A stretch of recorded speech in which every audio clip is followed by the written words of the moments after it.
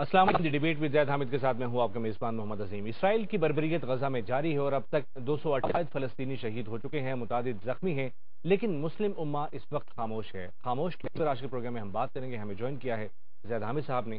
زید حامد صاحب، اسرائیل کی بربریت جاری ہے، مسلم امہ مکمل طور پر خاموش ہے۔ اس کی وجہ کیا ہے؟ بہت تکلیف دہ بات ہے۔ اس قدر ذلت اور رسوائی ہمیں اٹھانی پڑ رہی ہے، اس قدر شہدہ ہمیں دینے پڑ رہے ہیں۔ باوجود بحیثیت ممالک مسلمان دنیا میں سے کوئی بھی ایسی آواز نہیں کہہ سکیں کہ کم از کم ایک غیرت مند مسلمانوں کی نمائندگی کرتی ہو۔ حجاج بن یوسف ایک عورت کی آواز گئی تھی۔ راجہ طاہر نے ایک مسلمان جہاز پہ قبضہ کر لیا تھا، ایک عورت نے پکار کر کے۔ اور حجاج بن یوسف جس کو آپ جتنا مرضی ظالم کہیں، اس نے فوجیں ہندوستان فتح کر لیا اس ایک عورت کی آبرو بچانے کے لیے۔ اور آج مسلمان دنیا میں تو دور کی بات ہے، ہمیں کوئی حجاج بن یوسف بھی نہیں ملتا۔ ترکی نے ایک کمزور سی آواز کے بچوں کے لیے۔ ہم نے بھی ٹائر جلائے۔ ہم نے یہ ٹائر جلانا یہ اسٹریٹ پر یہ سوشل میڈیا کے اوپر اس کے خلاف لکھنا ٹھیک ہے کریں۔ لیکن سچی بات کمزور لوگوں کے بے بس لوگوں کی نشانیاں ہیں۔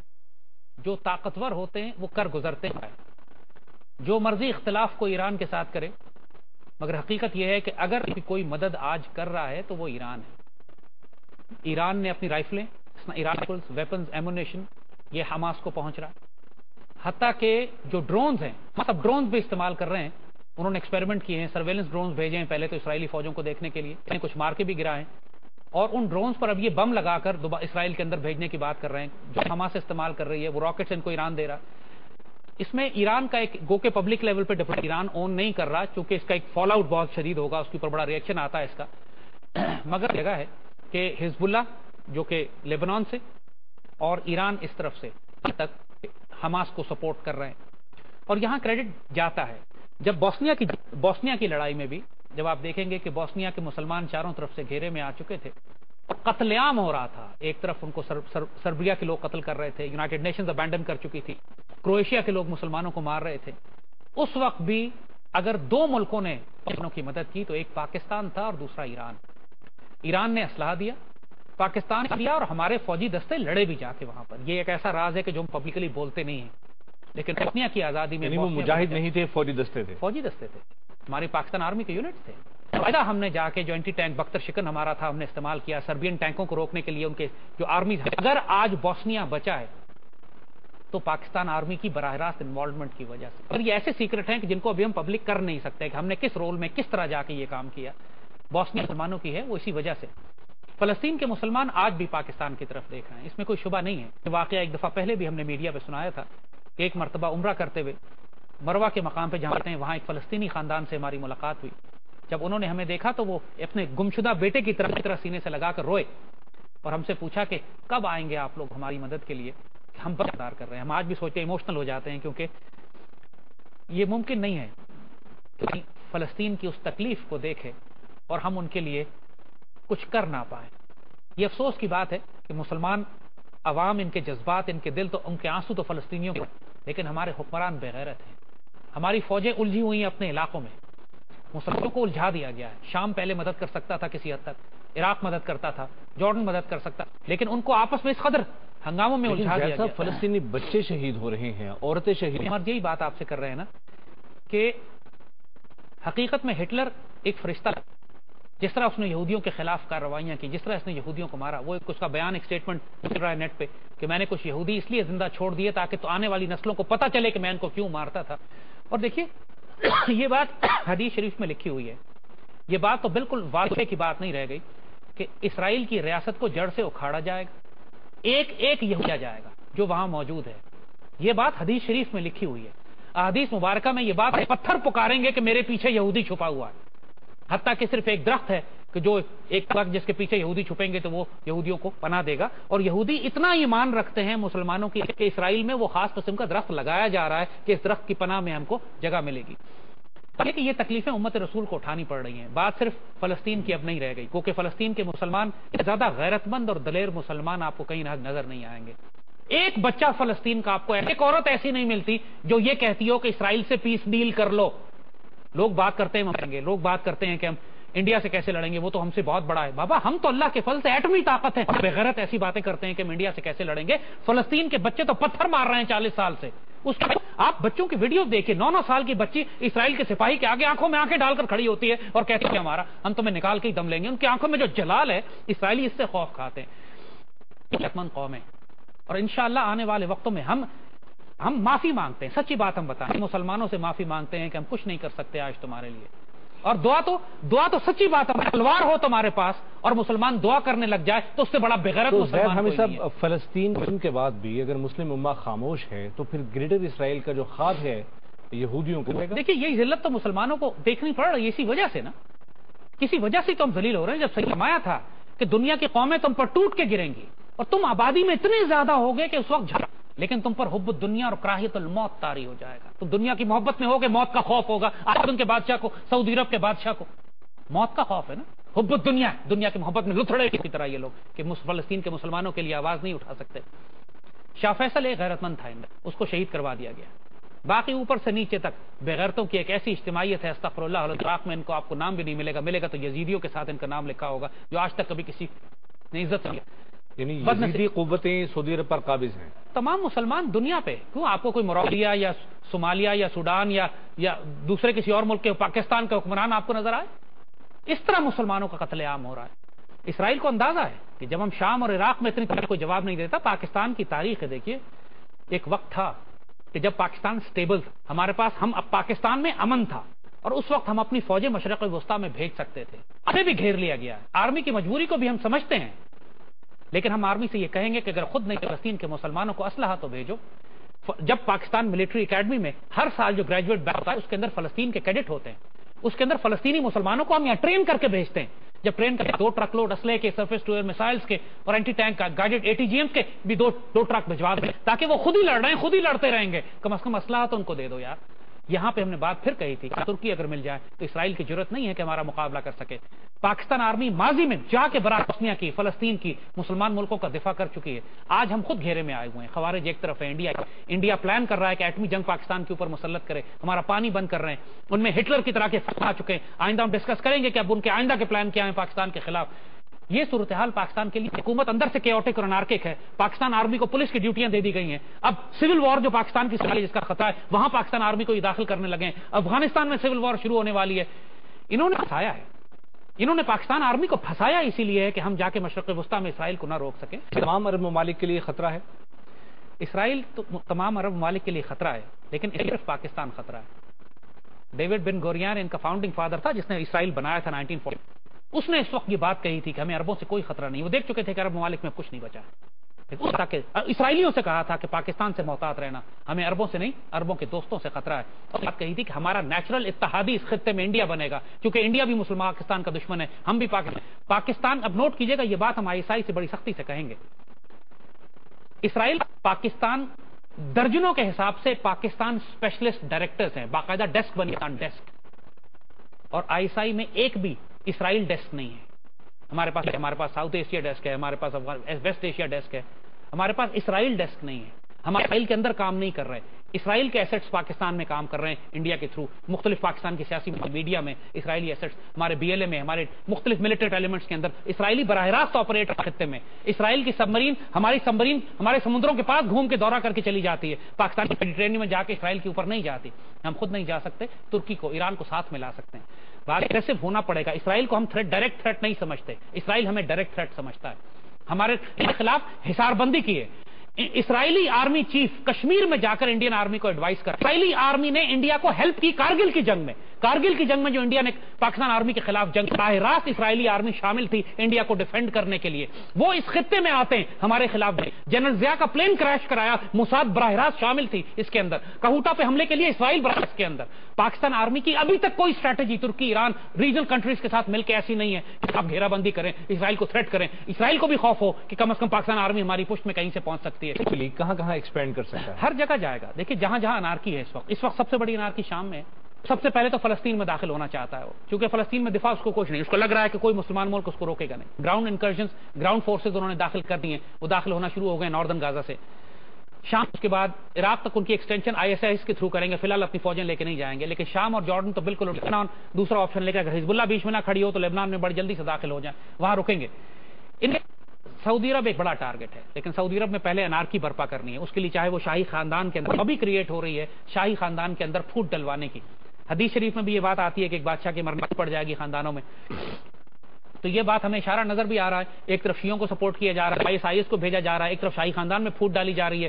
خود شاہی خاندان میں لابیز کریٹ کی جا رہی ہیں۔ یہ conservative lobby pro Iran lobby anti Iran lobby یہ بہت بڑی لابنگ کی جا رہی ہے۔ لنڈن کا بیس بنا ہوا ہے۔ اس کو اندازہ ضرور ہے کہ ان کے اندر ایک طوفان کھڑا ہو رہا ہے لیکن اگین جیسے سیٹ کی روک نہیں سکتے۔ ہمیں سب جس طرح سے اسرائیل امہ میں پھوٹ ڈلوا رہا ہے مختلف فرقے پیدا کر رہا ہے ان کی لڑائی کرا رہا ہے تو کوئی ایسا ملک ڈما میں جو اس پھوٹ کو ختم کر سکے فرقہ بندی کو ختم کرنے کے لیے کردار ادا کرے؟ صرف پاکستان ہے میں نے کر چکے ہیں چاہے ایران عراق جنگ ہو اربوں کے اندر پھوٹ پڑی تھی ہم نے کیا تھا وہ یونائٹڈ نیشن میں مسلم اما کی نمائندگی تھی کرنے کے لیے۔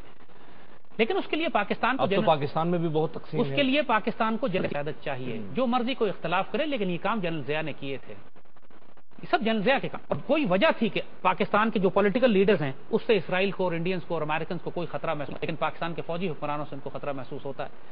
اور لیکن جیسے جنرل ضیاء کے بعد ہمیں یہ فرقہ ورانہ فسادات شروع ہوئے۔ جنرل ضیاء کی شہادت کے بعد ہوئے نا۔ بات یہ ہے کہ ان کے اندر تھوڑے بہت جراثیم تھے، وہ خان کی جنگ آپ جب لڑ رہے تھے تو اس کے اندر یہ ایشوز تو ایک تھوڑے بہت فال آؤٹس تو آنے تھے۔ ایسی جنگ کون سی ہوتی ہے جس کے فال آؤٹ آپ نے جب انڈیا سے سکسٹی فائیو میں بھی جنگ کی تو دس بارہ ہزار سپاہی تمہارے شہید ہوئے۔ فال آؤٹس تو ہوتا ہی ہوتا ہے، شہروں میں بم ایسا تو ہونا ہی ہونا۔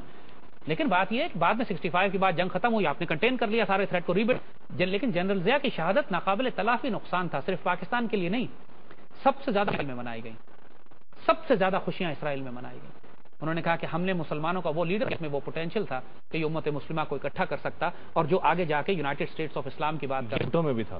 بھٹو لیکن سیکولر اور ناپاک آدمی تھا۔ وہ ٹھیک ہے اس نے اس نے مسلم کانفرنس بلایا۔ لیکن بات یہ ہے کہ دین کے بغیر بات نہیں چلتی۔ بھٹو کے مرنے پہ آج ماں کو مثال مسجد نبی کی ایک مثال آپ کو۔ بس میں ایک بڈے ترک سے ہماری ملاقات ہوئی۔ اسی پچاسی سال ان کی عمر تھی۔ ہم نے ان کو ادب سے سلام کیا۔ بیٹھے تو انہوں نے ہم سے پوچھا کہ کس جگہ سے ہو؟ میں نے کہا پاکستان۔ جیسے ہی میں نے کہا پاکستان، اس بڈے ترک کے منہ سے نکلا۔ سے آنسو گرنا شروع ہو گئے اور ہاتھ فاتحہ کے لیے انہوں نے دعا ہاتھ اٹھا دیے۔ یہ رسپیکٹ اور ادب اور پیار کا جو مسلم دنیا میں ہے یہ اللہ کی طرف سے کسی اور مسلمان حکمران کو یہ عزت نہیں ملی ہے۔ آج بھی جنرل ضیاء کے بیٹے اجاز الق اور انوار الق سے پوچھ لیں آپ، حالانکہ پاکستانی سیاست میں اب بڑے اپنے آپ کو کر لیا، کوئی رول بھی ان کا نہیں ہے۔ یہ سعودی ایئر لائن میں سفر کرتے ہیں اور پائلٹس کو پتہ لگ جائے اگر کہ جائیں تو ان کو اپ گریڈ کر کے فرسٹ کلاس میں بٹھا دیتے ہیں وہ۔ اتنی عزت ان کی سعودی عرب میں ابھی بھی ہے۔ مسلم دنیا میں یہ چلے جائیں خاص طور پر علاقوں میں پتہ لگے کہ جنرل ضیاء کے بیٹے ہیں تو باقاعدہ وی آئی پی پروٹوکال ان کو ملتا ہے۔ جنرل ضیاء کی وجہ سے لیکن جنرل ضیاء کا نام ہے۔ تو بات یہ ہے کہ یہ عزت اللہ نے پاکستان کے حکمران اگر آج پاکستان کے حکمران ذرا بھی ان کے اندر تھوڑی عقل فہم ہوتی یعنی جو عزت نہیں چاہتا، کون انسان ہے جو یہ نہیں چاہتا کہ پوری دنیا میں ہمیں عزت کر کے ہمیں امت مسلمہ کی آپ آپس کی بات بتاتے ہیں۔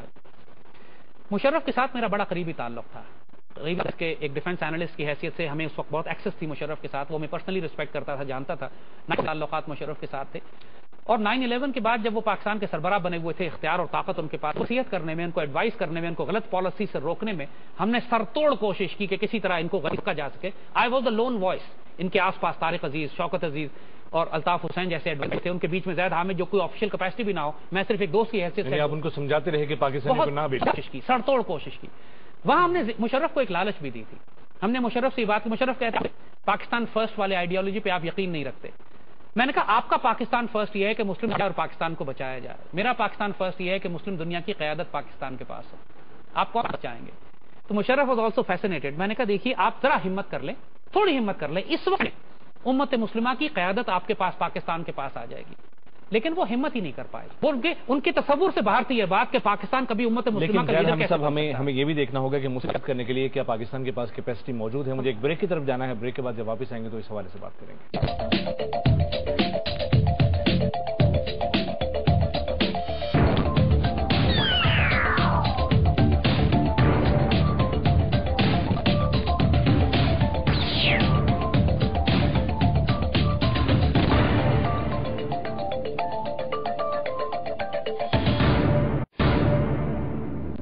بریک کے بعد ایک بار پھر سے آپ کو خوش آمدید کہتے ہیں۔ بریک پہ جانے سے پہلے زید حامد صاحب کا یہ کہنا تھا کہ مسلم امہ کی قیادت پاکستان زید حامد صاحب پاکستان کو کیا پہلے اپنی قیادت نہیں تلاش کرنا کہ پاکستان کو اپنی کیپیسٹی بلڈنگ نہیں کرنی ہوگی؟ مسلمان امت تباہی اس لیے ہو رہی ہے کہ پاکستان کی قیادت اپنی ذمہ داری پوری نہیں کر رہی۔ مسلمان کی قیادت کے لیے تو ہمیں بنایا گیا تھا۔ ہم ہی نے تو سبق پھر پر صداقت عدالت کا کہ لیا جائے گا، تجھ سے کام دنیا کی امامت کا۔ اس کے لیے خوشخبری تو باب اقبال نے ہمیں دی تھی۔ باب اقبال نے کہا تھا کہ مسلمان دنیا کا بلاک بناؤ، تہران جا کر بیٹھو اور میٹنگز کرو۔ کیا اقبال نے؟ اقبال نے کہا، تہران ہو اگر عالم مشرق کا جنیوا۔ شاید کہ اقوام عالم کی تقدیر بار بار ہم کیوں کہتے ہیں؟ بار بار ہم خود تہران کیوں جاتے ہیں؟ باب اقبال کی ایک وصیت ہے دے کے گئے وہ ہمیں، اس کو پورا کرو۔ سمجھاؤ جا کے ایرانیوں کو، ترکوں کو اور سعودیوں کو خدا کے وجہ پاکستان کے مسلمانوں کے بارے میں باب اقبال نے یہ خوشخبری سنائی تھی۔ عطا مومن کو پھر دربار سے ہونے والا ہے۔ شکوہ ترکمانی۔ ذہن ہندی نطق عربی۔ کہ عام مسلم دنیا کے خزانے اب پاکستان کو دیے جانے تہران کا آپ تذکرہ کر رہے ہیں وہ تو اپنے فرقے سے باہر نکل گئے۔ اسی یہی بات تو ان کو سمجھانی ہے۔ بابا اقبال بھی تو یہی سمجھانے گئے تھے۔ بابا اقبال کو آپ نوٹ کریں تو آپ ایران بھی گئے کے ساتھ بھی آپ نے بڑے رابطے کیے ہیں۔ یہی آپ نے اسی لیے بات کہی تھی اے گرفتار ہے ابو بکر علی ہوشیار باش۔ اسی لیے دیکھیے آئیڈیالوگ اور نظریاتی لوگ ویژنری لوگ جو ہوتے ہیں نا وہ صرف اپنے دور کے لیے۔ پروفیسر آرنلڈ نے جب اقبال کے بارے میں کہی تھی کہ یہ اپنے عہد کے آدمی ہیں۔ اپنے عہد سے آگے کے آدمی، عہد کے خلاف اعلانے جنگ کر چکے ہیں۔ He is a man of his age man ahead of his age man at war with his age Iqbal نے یہ بات کہی تھی کہ آئندہ آنے والی نسلیں اس امت کی میری مٹھی میں۔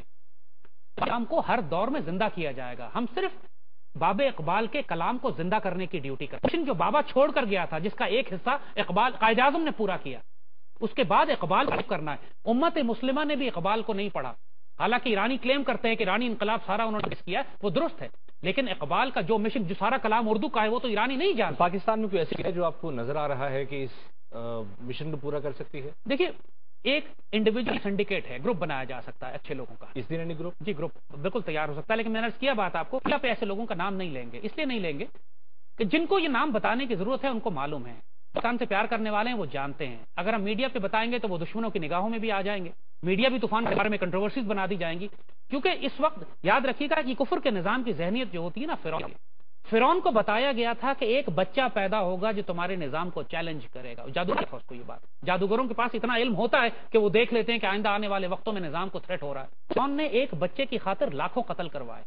وہ دوسری بات ہے کہ اللہ نے جس موسا کو بچانا تھا وہ فرون کے میں لیکن بات یہ ہے کہ آج کے دور میں بھی یہ کفار تلاش کرتے پھرتے ہیں کہ کوئی اللہ کا بندہ نظر آئے تو ہم اس قسم کو بےزت کریں، خراب کریں۔ اور ایسے لوگ ہیں، ایسے لوگوں کو لیکن ہم ظاہر نہیں کریں گے۔ وہ اللہ کی کار کر رہی ہے۔ تینوں وین دا ٹائم کمس جب پاکستان کے اندر جو صاحب اقتدار، صاحب اختیار ہوتا ہے، اس سے وابستہ ہو جاتے ہیں۔ اشفاق احمد، قدرت اللہ شہاب، ایوب خان کے ساتھ وابستہ تھے۔ پرسنل سیکرٹری تھے اور اتنا بڑا اختیار اور طاقت رکھتے ہوئے ایوب خان کو جو کام شہاب نامہ میں وہ کیا انہوں نے صرف کیا ہے، اصل میں بہت بڑی روحانی ڈیوٹی تھی ان کی بچانے کی۔ اسی طرح مشرف کے ساتھ بہت لوگ وابستہ تھے، مشرف کو ایڈوائز کرتے تھے۔ ہم تو ایک ڈیفینس اینالسٹ کے طور پہ مشرف کے ساتھ ہیں لیکن ہمیں یہ بات علم تھی۔ بڑے فقرا نے اس وقت کوشش کی کہ مشرف کو گمراہی سے بچایا جائے۔ یہ تو ذاتی طور پر، ذاتی طور پر یہ پیغام میں نے کیا تھا۔ وہ پریزیڈنٹ ان یونیفارم تھے، دو ہزار چار کی بات ہے۔ مشرف سے ہم نے یہ بات کہی تھی کہ آپ کا کون ہے مشرف پیچھے ہو کے بیٹھ گیا. پریزیڈنٹ ان یونیفارم کسی کی ضرورت نہیں تھی مشرف سے ایسے بات کرے. ہم نے کہا آپ کا کون اس نے مجھ سے پوچھا، آپ کی بات کیوں کہتے ہیں؟ میں نے کہا، اس لیے کہ جو ایڈوائزر آپ کے آس پاس ہیں، یہ آپ کو ہلاکت کی طرف لے جا رہے ہیں. اس کے نکل جائیں گے، آپ جیلوں میں ہوں گے. آج مشرف کے ساتھ وہ ہو رہا ہے. یقیناً اندھیرے میں بیٹھ کے، اکیلے میں بیٹھ کے سوچتے ہوں گے، کیا جاتے کہیں تھی آپ پوچھ لیں کبھی ملاقات ہو ڈینائی نہیں کریں گے وہ. اس معاملے میں آنےسٹ آدمی ہے وہ. مان لے گا کہ ہاں میری غلطی تھی. بات یہ ہے کہ پاکستان کے ہر حکمران کو یہ موقع دیا گیا. یوب خان کو یہ موقع دیا گیا تھا. جنرل لوگ وابستہ تھے۔ جنرل ضیاء کو اگست کے بارے میں کہہ دیا گیا تھا کہ اگست میں گھر سے نہ نکلیے گا واپس نہیں آئیں گے۔ جس طرح شیطانی طاقتیں ہوتی ہیں اس طرح روحانی طاقتیں بھی کام کرتی ہیں۔ جنرل ضیاء کو چیٹ کے جنرل محمود دورانی اور امریکن امبیسڈر لے کے گیا۔ تو اسرائیل کو شکست دینے کے لیے کوئی روحانی قوت اکٹھا کرنا ہو رہی ہے۔ آپ نے دیکھا ہے نا کہ آخر میں جب یہودیوں کو جب دجال کو قتل کیا جائے گا تو ہماری طرف سے بھی سب سے بڑی روحانی قوت حضرت مہدی اور حضرت عیسیٰ علیہ السلام کا ذکر کیا گیا ہے۔ عیسیٰ ابن مریم آئیں گے دجال کو قتل کرنے کے لیے۔ اس سے پہلے نظاموں کی لڑائی ہوگی۔ اس سے پہلے ان کے جو کفار کے جو شیاتی دیکھیں، قرآن واضح طور پر بتاتا ہے کہ بہت سی ایک جماعت ایسی ہے جن پر شیاطین کا نزول ہوتا ہے، عزل ہوتے ہیں ان کے اوپر، جھوٹے اور بدکار کے اوپر۔ حل نبے کو ملامن تنزل، شیاطین قرآن کی آیت ہے یہ۔ ایگزیکٹلی قرآن کی ایک آیت ہے۔ کہ اللہ آمن ثم استقام علیہم الملائکہ، جو لوگ ایمان لائے اور استقامت اختیار کی، ان پر ملائکہ نازل ہوتے ہیں۔ اس ڈائمنشن کو اگنور نہ اللہ کے بندوں پر ملائکہ نازل ہوتے ہیں اور کفار پر شیاطین نازل ہوتے ہیں۔ جس طرح جنگ فزیکل پلین میں آپ دیکھتے ہیں، دنیا میں یہ جنگیں جاری ہوتی ہیں۔ اور جس طرح جادوگر فرون کو بتاتے ہیں کہ کوئی بچہ پیدا ہونے والا ہے جو تمہیں ڈالے گا تو فرون انہی جادوگروں کو لے کر آتا ہے موسا علیہ السلام کے مقابلے پر۔ پہلے ہمیں فزیکل نہیں ہے ہماری روحانی قوت نہیں جی کافی فزیکل اسٹرینتھ لازمی چاہیے۔ فضائے بدر پیدا کرنی پڑتی ہے۔ تین سو تیرہ ہوں گے تو اوپر سے ہزار فرشتے اتریں گے۔ جنگ بدر میں کیا تھا؟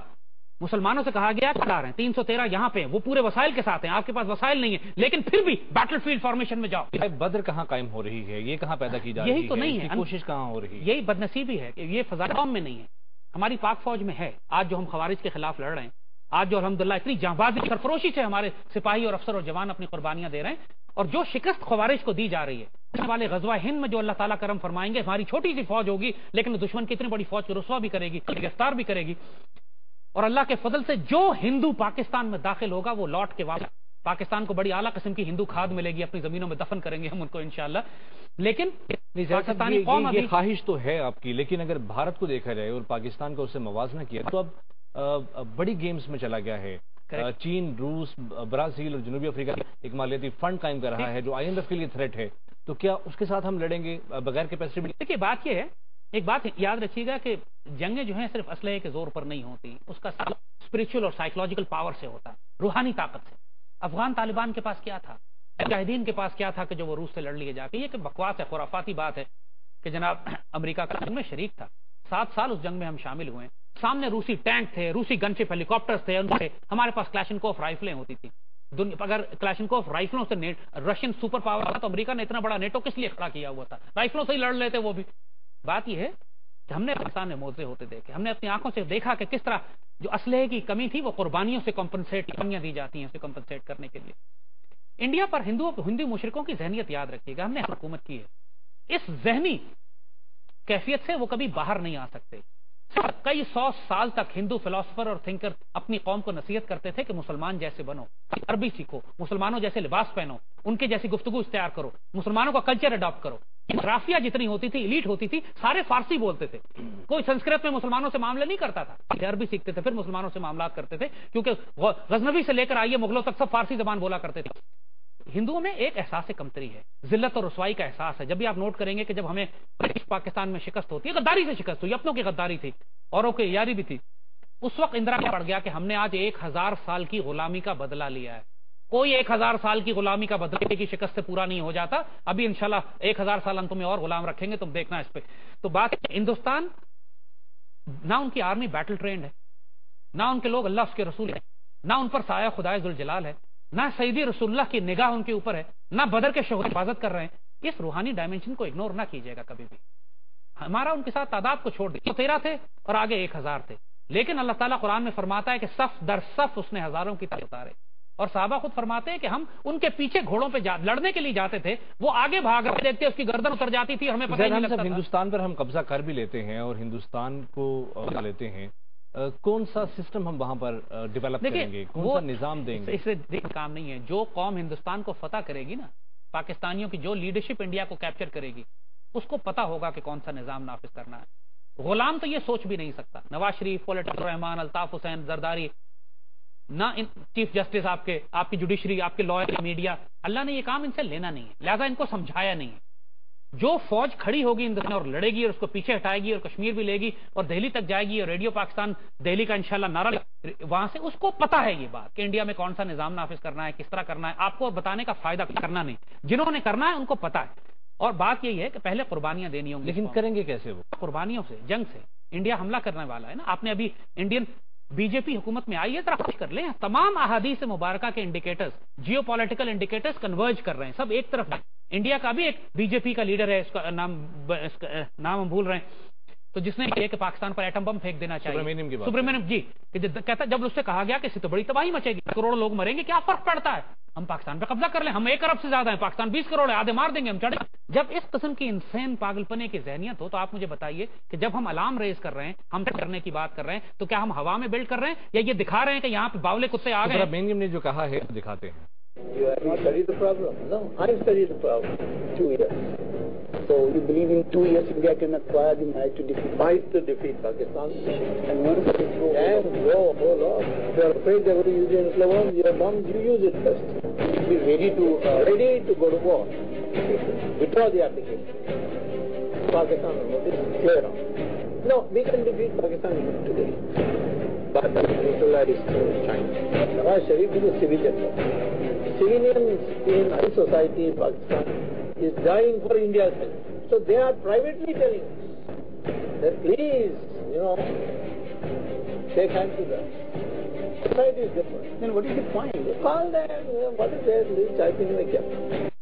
اگر سبرامینیم کا یہ اسٹیٹمنٹ ہے تو ہمارے چودھری شجاعت حسین صاحب نے بھی تو بہت واضح طور پر کہا تھا کہ ہم نے برات پر چلانے کے لیے تو نہیں رکھے دیکھیے وہ بات ٹھیک ہے لیکن بات اب اچھی طرح دیکھ لیجیے گا یہ بات۔ آپ ان کی ذہنیت دیکھ لیں۔ یہ آئیڈیالوگ ہے فلاسفر ہے۔ یہ کوئی ایڈیٹ نہیں ہے۔ کلو کا پٹھا نہیں ہے وہاں کا کہ جو ریلوے پہ سامان اٹھاتا ہے اور اپنے غصے یہ بی جے پی کا مودی کا ایڈوائزر یہ شخص اس کی لینگویج آپ نے دیکھی؟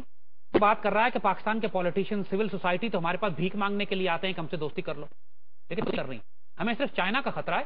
وہ ذرا تھریٹ ہم نیوٹرلائز کر لیں تو پاکستان کو تو ہم جب چاہیں رول دیں گے۔ دو سال دو تھے دو سال جھوٹ بول رہا ہے۔ ان کی پوری پلاننگ ہے ایک سال کے اندر۔ اور جو یہ کر رہے ہیں یہ کریں گے۔ دے مین اٹ اس وقت یہ ایرگنس آف پاور میں ان کو پتا ہے کہ ہم اس وقت اگریسو پاکستان کمزور ہے مسلم دنیا بکھری ہوئی ہے۔ یہودی امریکن اس وقت مسلم دنیا کو ڈیسیمیٹ کر رہے ہیں۔ انڈیا نہیں ہے۔ پاکستان اس وقت we are on our own ہمارے پاس صرف پاکستانی قوم ہے پاک فوج ہے اور اس کے اوپر اور اللہ کے رسول کا کرم ہے۔ اور انشاءاللہ اسی پر ہم نے کھڑے ہونا ہے۔ چین اور بھارت کی بائیلیٹرل ٹریڈ بھی ہے اور اس فنڈ بنا ہے اس میں بھی چین اور بھارت سر فہرست سب چلتا رہتا ہے۔ بات آپ سمجھتے ہیں کہ چین پاکستان کا دوست رہے؟ چلتا رہتا ہے لیکن پاکستان بھی چین کے لیے اسٹریٹجک ایلیمنٹ ہے۔ پاکستان ان کی سافٹ بیلی ہے۔ آپ نہیں پسند کرے گا کہ انڈی پاکستان کے اوپر انڈیا قبضہ کر لے اور اس کے بعد چین کا سارا رستہ گوادر تک مڈل ایسٹ تک سینٹرل ایشیا تک یہ سب کچھ بند ہو جائے۔ تو پاکستان چین کی ڈیفنس لائن ہے۔ کچھ چیزیں ہوتی ہیں ملکوں کے لیے جس طرح تائیوان کے معاملے میں ساؤتھ کوریا کے معاملے میں امریکہ کی ہوئی ہے کہ اگر تائیوان پر چائنا جائے گا یا ساؤتھ کوریا پہ اگر حملہ ہوگا تو امریکہ ول گیٹ انوالوڈ ان وار اسرائیل کا ہے کہ اگر اسرائیل پہ براہ راست کوئی ملک خطرہ حملہ کرے گا تو امریکہ ول گیٹ انوالوڈ ان وار یہ اسٹریٹجی ہے ہر ملک کی۔ تو چائنا کی ریڈ لائن پاکستان ہے۔ لیکن بات یہ ہے کہ پاکستان خود لائن بھی ہے۔ خود کھڑا بھی تو ہونا۔ یعنی اس معاملے میں ہم آپ کو ایک مثال ایسی لطیفہ سا ہے کہ کسی نے کسی کے ہاتھ میں ایک جن قابو آ گیا۔ تو اس نے جن نے اسے کہا کہ جب تم مصیبت میں پڑھو تو مجھے آواز دینا۔ جب آگے رستے میں تو اس آدمی نے جن کو آواز دی جن آ کے کھڑا ہو گیا۔ تو جن نے اس آدمی سے کہا تم لڑو۔ اس آدمی نے طاقت نہیں رکھتا۔ جن نے کہا تم اس طرح کرو، بھاگو۔ آدمی نے کہا بھاگنے کی طاقت بھی نہیں رکھتا۔ تو جن اس کو دیکھ کر کہتا ہے تو میں بھی مدد نہیں کر سکتا۔ بات یہ کہ چین آپ کی مدد اس وقت کرے گا، جن تو ہے آپ کے قابو میں۔ مدد اس وقت کرے گا کہ جب آپ بھی کچھ غیرت دکھائیں گے۔ چین گرو کا رہا ہے، بھارت گرو کا رہا ہے، پاکستان کا ہے۔ ایک بریک بریک کے بعد اس حوالے سے بات کریں۔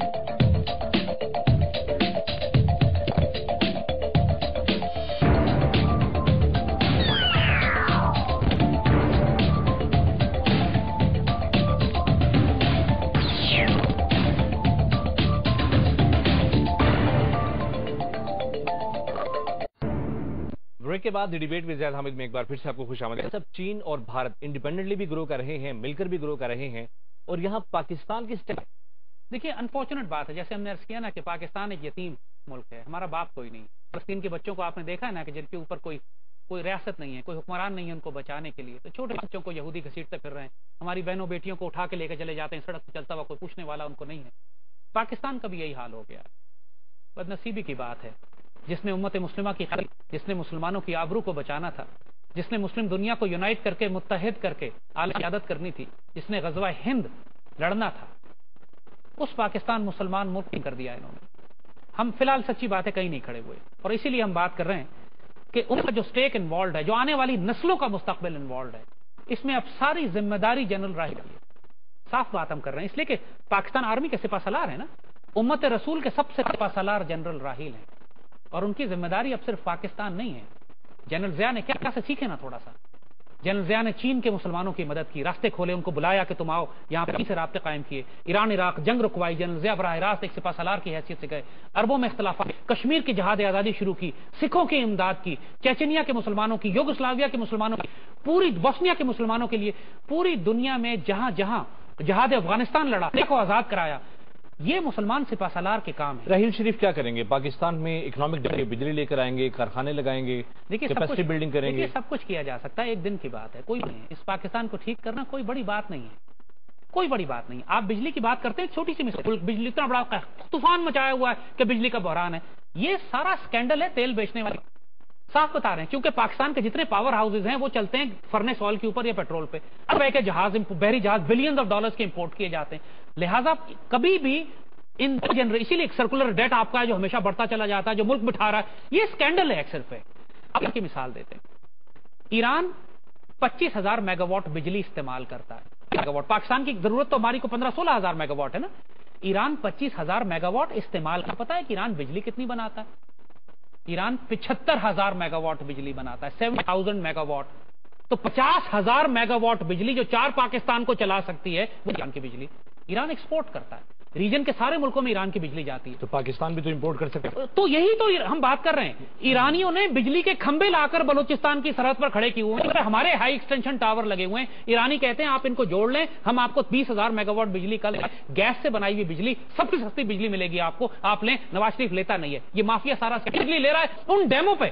وہ جو ہمارے پانی کے ڈیم کے اوپر جو انہوں نے بجلی بنا کر ہمیں بجلی بیچ رہے ہیں اور ہمارا اس پہ بات کر رہے ہیں۔ کوئی بات نہیں کرے گا کہ ایران نے جو بارڈر پہ لا کے کھمبا کھڑا کیا ہوا ہے، اس سے ہم بجلی کیوں نہیں لے لیتے؟ ہزار میگا واٹ بجلی ہمیں کل دینے کو تیار ہے، مفت کے ریٹ پہ نہیں لیتے۔ میں آپ کو بات کر رہا ہوں پرابلم نہیں ہے۔ بالکل بکواس ڈرامہ کرتے ہیں کہ پیسے نہیں ہیں، بجلی نہیں ہے، کہاں سے لے کر آئیں گے، فوج کیا کرے گی؟ اب جنرل ضیاء والا کام کرنے کی ضرورت ہے، صاف بتا رہے ہیں۔ اور پھر جو بات اصل سمجھنے کی ہے، دیکھیے پاکستان آرمی کی بار بار کیوں کر رہے ہیں؟ امت رسول میں اب ایک ہی فوج رہ گئی ہے جس کے پاس ایٹمی ہتھیار ہے ذمہ داری ذمہ داری پر سب سے زیادہ بھی ہوتی باپ فوت ہو جائے تو بڑے بھائی کفالت کرتا ہے پورے خاندان کا۔ امت رسول کا باپ نہیں ہے۔ اسرائیل پہ ایٹمی ہتھیار پھینکے۔ ایٹمی ہتھیار کی بات نہیں ہے۔ اسرائیل کو تھریٹ کر سکتے ہیں۔ مسلم ممالک کے ساتھ الائنس پہ دباؤ ڈالیں کہ رستہ کھولے ہمارے لیے۔ سپلائیز دے سکتے ہیں ویپن پہنچا سکتے ہیں۔ بوسنیا ہم نے سربیا پہ حملہ تو لیکن ہم نے بوسنیا کے مسلمانوں کو ہتھیار پہنچائے۔ ان کو گائیڈ کیا ان کو ٹرین کیا ان کو ایڈوائز کیا۔ چھپی چھپی بات تو نہیں ہے فلسطین کی آرمی کو تو ہم ویسے ہی ٹرین کر رہے ہیں حماس کے لوگ تو ویسے ہی پاکستان کی ملٹری اکیڈمی میں ہم کیوں نہیں کر سکتے؟ کیوں نہیں کر رہے؟ ہماری جتنی مرضی جنگ ہماری لڑے۔ ہم ہزار دو ہزار افسر اور اور سپلائیز ہم دنیا سے اکٹھا کر کے فلسطین بھجوا سکتے ہیں کہ وہ اپنی جنگ لڑ لیں۔ یہ کیا جا سکتا ہے؟ ریجن کی سب فورسز گرو کر رہی ہیں۔ پاکستان اور افغانستان کی صورتحال ایک جیسی ہے جس طرح وہاں پر بھی رگڈ ہونے کا الزام لگا اور اب عبداللہ عبداللہ اشرف غنی احمد سعید موجود ہے اور اسی طرح کی صورتحال پاکستان میں ہے۔ تو کیا پاکستان کا مقدر افغانستان جیسا ہے؟ دیکھیے، جہاں بھی ہم لے کر آئے ہیں، وہاں ایسے ہی ہو رہا ہے۔ امریکن عراق میں بھی ڈیموکریسی لائے تھے نا۔ افغانستان میں بھی لائے، پاکستان میں بھی لے کر آئے۔ یہ ہم نے پہلے دن دو ہزار سات کے پروگرام ہمارے اٹھا کے اینڈ سیون کے پروگرام، اس وقت ہم نے یہ بات کہی تھی کہ پاکستان میں مشرف کو ہٹا کر سی آئی ڈیموکریسی لائی جائے گی اور یہ ڈیموکریسی سی آئی لائے گی۔ وہ فیصلہ کرے گی کہ پاکستان کے حکمران کون ہوتے ہیں۔ کا کام یہ کروائیں گے۔ الیکشن ووٹ جو مرضی ڈالے، ووٹ گننے کا کام سی آئی نگرانی میں۔ اب تو عمران بھی چیزتا پھر رہا ہے کہ چیف جسٹس نے آروز نے، فلانوں نے، کس نے ووٹ ہی تبدیل کر دیا، ووٹ ہم نے ڈالا، کچھ اور دیکھیے پاکستان کی، افغانستان کی اور امریکن افغانستان سے جا رہے ہیں۔ ہر جگہ جہاں چلتے ہیں پیچھے انارکی چھوڑ کر جاتے ہیں۔ افغانستان میں اب سول وار چھوڑ ہونے الیکشن کا نظام ہم بھاگ سکتے ہیں۔ وہاں پر الیکٹرانک ووٹنگ ہے دھاندلی کا شور نہیں بھارت میں امریکن اور اسرائیلی دخل نہیں دیتے۔ بھارت میں کون سا ملک ہے جو باہر سے دخل دیتا ہو الیکشن کنٹرول کرنے میں؟ پاکستان کی سیاسی جماعتیں الیکشن سے پہلے امریکن امبیسڈر سے جا کے پوچھتی ہیں کہ آپ بتائیں ہم کیا سٹیٹمنٹ دیں۔ فضل الرحمان نکلا ہے کہ امریکن امبیسڈر سے جا کے کہتا رہا کہ مجھے وزیر اعظم بنوا دیں مارشل لگانے والے پہلے کس سے کنسلٹ کرتے ہیں؟ کسی سے پوچھا تو نہیں تھا نا۔ جنرل ضیاء نے جب مارشل لا لگایا تو امریکہ سے پوچھ کے تو نہیں کیا تھا وہ تو سڑکوں پہ احتجاج تھا فوج میں ایوب خان بہت پرانی بات ہوگی اللہ بہتر جانتا ہے اس نے کس سے پوچھا یا خود لگایا اپنی مرضی سے کیا۔ لیکن مسلم ضیاء کے معاملے میں تو کوئی الزام نہیں دے سکتا۔ نواز شریف نے پنگا لیا فوج کے ساتھ۔ فوج میں بغاوت کیا کو آرمی چیف بنایا۔ آرمی چیف کو ڈسمس کیا۔ ہوا میں غیر قانونی کام پہ فوج کی بریگیڈ آمنے سامنے کھڑے ہو گئے۔ مشرف اور مشرف نے امریکہ کی آنکھوں میں آنکھیں ڈالی تھی اس وقت ضرورت ہی نہیں تھی۔ امریکہ کو خود بھی نہیں پتا تھا کیا ہونے جا رہا۔ ہے ایک آنکھی تھی ہو گیا۔ اس وقت جو کچھ پاکستان میں الیکشن کے حوالے سے ہو رہا ہے تو آپ کو نظر آ رہا ہے کہ امریکن اب نواز شریف کے آپ نے عمران خان کو بھی سپورٹ کیا انہوں نے ایک اسٹیٹمنٹ سٹل سا اسٹیٹمنٹ امریکن نے دیا ہے کہ اگر جلوس جمہوریت کا حصہ ہونے دے، کیا فرق پڑتا ہے؟ اٹس اے سٹل سائن کہ امریکن مگر حقیقت یہ ہے کہ اس وقت امریکہ نہیں ہے پاکستان میں۔ اور یہی وہ وقت ہے کہ جب پاکستان اپنی تقدیر اپنے ہاتھ میں کھل کے لے سکتا ہے۔ امریکن نر اس وقت جیسے کہا کہ پاکستان آرمی کا یہ سپا سالار جو ہے، نہ یہ مشرف ہے، نہ یہ کیا نہیں ہے۔ اس کے اس کی عزت کرتی ہے۔ آنے والے ان کو بہت تھوڑا عرصہ ہوا ہے، لیکن اس تھوڑے عرصے میں جنرل راہیل نے اپنی عزت بنا لی ہے۔ دنیا امید لگائے بیٹھی ہے۔ پاکستانیوں کو اب ان سے امید ہو گئی ہے۔ ان کے ماشاءاللہ جو عمل انہوں نے کیا ہے، پاکستان اس کے اندر ہے۔ راہیل سے بہت توقعات ہیں قوم کو۔ آنے والی مسلمان امت کا بوجھ ان کے کندھوں پر ہے۔ کیا نے کیے تھے، جو کام کیے تھے۔ امت مسلمہ آج بھی ان کی خیر ان کی فصل کاٹ رہی ہے اور فائدہ اٹھا ایشیا آزاد ہوا ہے روس کو تباہ ہوا شکست ہوئی مسلمان دنیا میں جگہ جگہ تحریک آزادی ہوئی۔ راہیل کو بھی صرف نہیں کرنا چاہیے کہ دو تین سال اپنا ٹینیور کاٹ کے چلے جائیں۔ جو کچھ اب امت کے ساتھ ہوگا امت بچے گی تباہ ہوگی انڈیا کے ساتھ سب کچھ جنرل راہیل کی نگرانی میں ہوگا۔ اس کے لیے اب راہیل لیکن جنرل راہیل کے لیے پہلا ٹارگیٹ طالبان ہے۔ وہ تو کام ہو گیا فکر نہ کریں دیٹ جاب از ڈن اب ٹی ٹی پی اب پرابلم نہیں ہے۔ ہمیں اب شدت پسندی کی جو سوچ ہے وہ بھی ختم ہو گئی؟ دیکھیے نہیں سوچ کی بات نہیں ختم ایکسس آپ ان کا ختم کر دیں دیٹس این امپورٹنٹ ایلیمنٹ جو ملٹری ایکسس ہے جو فوج کا راہیل کا پہلا کام تھا جو بات کی ہے۔ براہ راست افغانستان میں دخل دینا ہے۔ دینا پڑے گا کیونکہ افغانستان میں اب سول وار شروع ہو رہی ہے۔ عبداللہ عبداللہ اور اشرف غنی میں امیرکنس نے تھوڑا سا زبردستی روکا ہوا ہے کیونکہ امیرکنس کو نکلنا ہے افغانستان سے۔ وہ نہیں چاہتے کہ سول وار اس وقت شروع ہو جائے۔ جیسے جیسے امیرکنس نکلیں گے جس علاقوں سے وہاں سول وار چھوڑتے جاتے ہیں تاکہ وہ مسئلہ گن سارا ہماری طرف آئے گا۔ جنگ بھی ہماری طرف آئے گی۔ اس لیے افغان دھڑوں کو بلا کر بات کرنا ضروری ہے۔ نواز شریف نہیں کرتا تو آرمی کرے دھڑوں کو؟ افغان سیاسی دھڑے ہے ہی کوئی نہیں۔ ہر سیاسی دھڑے کے پاس اپنی فوج ہے کے نیچے اس کی فوج ہے اشرف غنی کے پاس پٹھان فوج ہے طالبان ایک طرف کھڑے ہوئے ہیں۔ رشید دوستم کی اپنی ملیشیا ہے۔ افغان ظاہر ہے اور کون ایلیمنٹس ہیں؟ پھر ایران ہے ترکی ہے چائنا ہے روس ہے۔ بلائیں سب کو بیٹھے بات کو۔ کیونکہ امریکہ اور اس خطے کی جو گند ہے یہ ان سارے مسلمان ملکوں کو تنگ کر رہی ہے نا۔ چائنا بھی ڈسٹرب ہو رہا ہے کیونکہ یہاں سے دہشت گردی میں جا رہی ہے۔ روس ڈسٹرب ہو رہا ہے کیونکہ روس ساری ایران پریشان ہے، ترکی پریشان ہے آئی رہی ہے۔ یہ کام ہے جو اب کرنے پڑیں گے۔ سول وار افغانستان میں اب دوسرے اب ایک جسو کہتے ہیں چلی گئی ہے۔ نیکسٹ لیول پہ چلی گئی ہے۔ الیکشن ختم ہو گئے اب سول وار شروع ہونے والی ہے۔ پاکستان میں بھی الیکشن ختم ہو گیا۔ اب سول ڈسبیڈینس موومنٹ شروع ہونے والی ہے۔ ہم یہ تو ٹوٹل انارکی ہے۔ انڈس ٹو آکسس کا جو ریجن ہے دریائے آمو تک کا تمام علاقہ اب انارکی میں جا رہا ہے۔ امریکن کی جو ایف پیک ملٹری ڈاکٹرن تھی وہ تھی افغانستان میں ہوگی اسی طرح کی خانہ جنگی پاکستان اللہ نہ کرے کہ پاکستان میں مسلح فوج جنگی تو نہیں ہو سکتی۔ افغانستان میں تو فوج ہی تقسیم ہو گئی نا۔ پشتون فوج ایک طرف ہے طالبان ایک طرف ہے تاجک فوج ایک پاکستان میں خانہ جنگی نہیں ہے سول ڈسوبیڈینس موومنٹ ہوگی۔ اور وہ سول ڈسوبیڈینس انارکی کریٹ کر اور ریسٹور کرنے کے لیے پھر فوج کو دخل دینا پڑے گا۔ یہی بات ہم کر رہے ہیں کہ پاک فوج کو اپنی ذمہ داری سمجھنی ہے۔ فلسطین تک جتنے مسلمان ہیں، یہ پاکستان قائد اعظم نے جب بنایا تھا نا، اس وقت بھی فلسطین تک تمام مسلمانوں کی خیر و خواہ، تمام مسلمانوں کی بھلائی، تمام مسلمانوں کی بہتری، حتیٰ کہ انڈونیشیا کو رستے بھی بھیجے، پانچ سو فوجی بھی بھیجے قائد اعظم نے۔ پاکستان کو اپنی میراث یاد رکھنی چاہیے۔ زید حامد صاحب، آپ نے جوائن کیا۔ پاکستان کے لیے ضروری ہے کہ وہ پوری دنیا کے مسلم ممالک کی بہتری کے لیے کام کرے اور اس کے لیے بھی کام کرے جو اس وقت مشکل میں ہے، لیکن اس سے پہلے پاکستان کو اپنی بہتری کے لیے کام وسیم کو اجازت دیجیے، کل آپ سے دوبارہ ملاقات ہوگی۔ اللہ نے کے پاس